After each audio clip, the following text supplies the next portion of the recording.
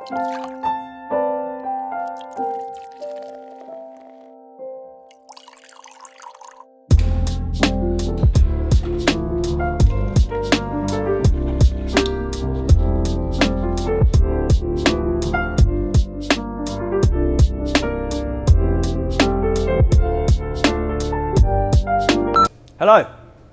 Today we are making a sexy black Christmas. You will need 15 mil. Kahlua coffee liqueur, Hennessy very special, Cointreau, all 15 mil, teeny tiny bit of sugar, 125 mils of sexy black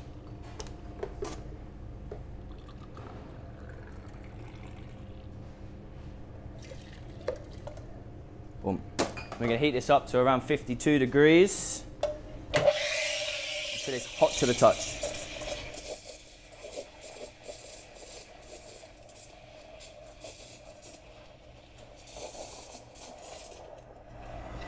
There we go.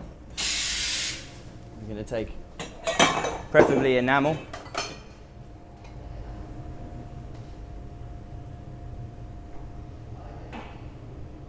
Lovely, lovely, jubbly.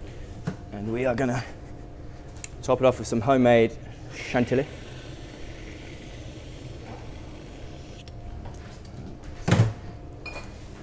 Little touch orange zest. We can top it off with a chocolate orange. Two sips. One sexy black Christmas.